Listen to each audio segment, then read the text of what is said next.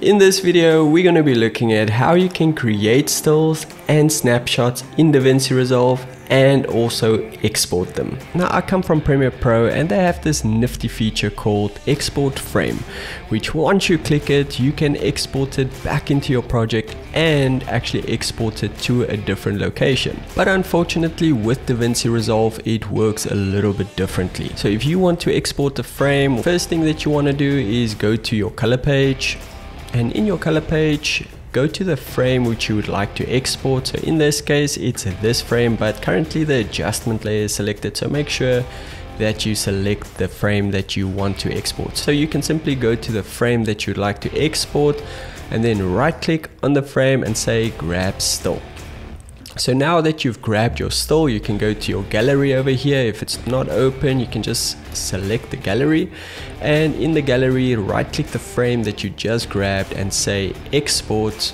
And in the export options, you can now select the file type and you can rename your file and export it wherever you want it.